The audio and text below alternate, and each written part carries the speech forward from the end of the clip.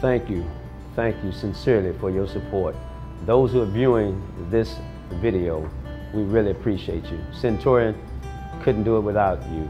And there's someone in prison right now who is saying, somebody please help me.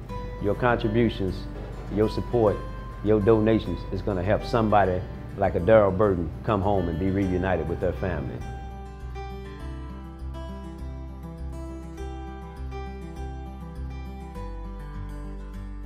I would not be here today without your support.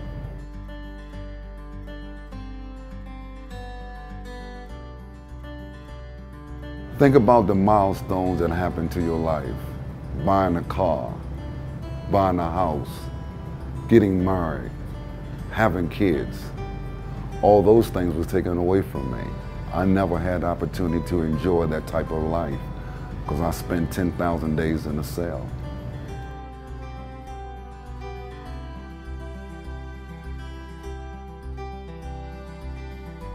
There are so many people today that still need your help.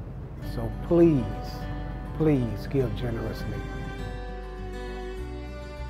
I am innocent. Thank you for supporting Centurion.